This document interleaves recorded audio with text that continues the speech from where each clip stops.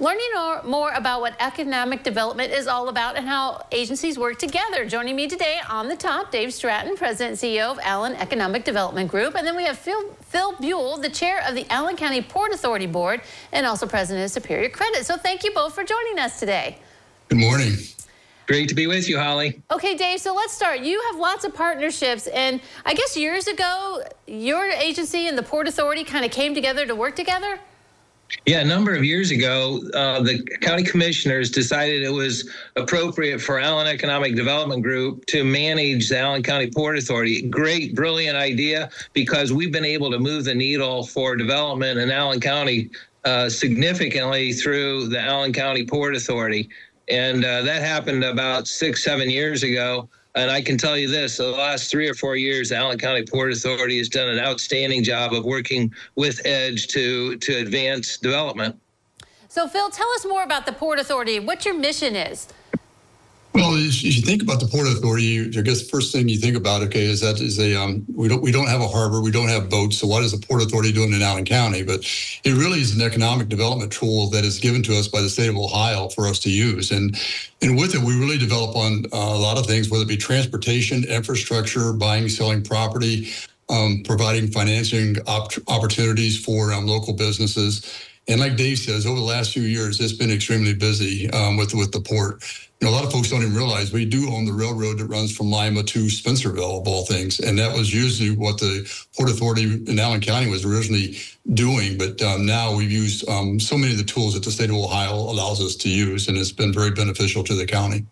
So, Dave, it sounds like they kind of lay some of the groundwork. If someone needs land or some of these things, they can start it up and you can present it to them?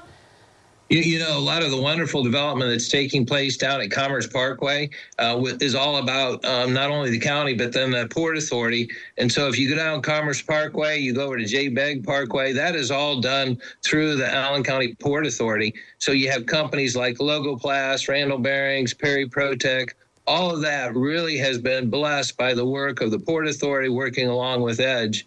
And then we're looking for other land, you know, options on land that would be to advance Allen County.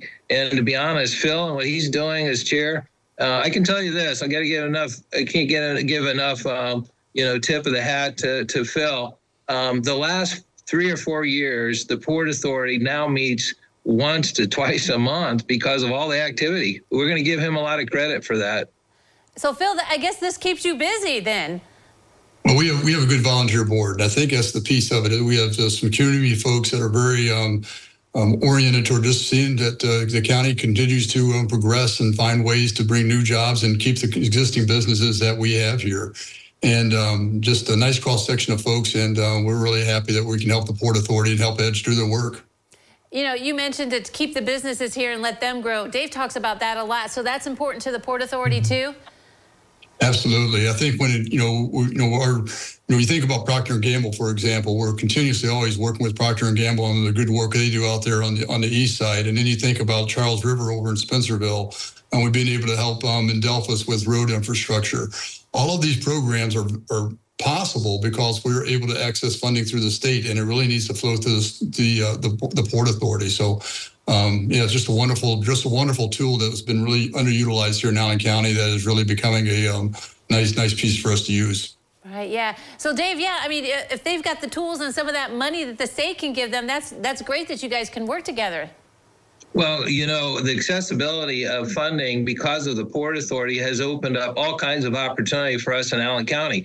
And and Holly, you and I've talked about the Allen County Home Project. Let's face it, that project, there would be a blighted building sitting out there on 81 if it wasn't for the work of the Port Authority working for uh, demolition remediation money. You look at the EDCO project. Uh, this is a project on Bell, Bellefontaine Avenue and Kibbe Street. This was a blight and because of the Port Authority and accessibility to be able to look for funding and and for Phil and his and his board to to bless what we're trying to do, um, it, it's advanced Lima Allen County in a tremendous way. Wow, it's really neat to hear how you guys are working together, the Port Authority and Allen Economic Development Group. So thanks for sharing with us today. Appreciate you having us, Holly. Thanks, Holly. Have a great day. You too. Thanks for joining us, guys. Don't go away. Noon Edition continues in a moment.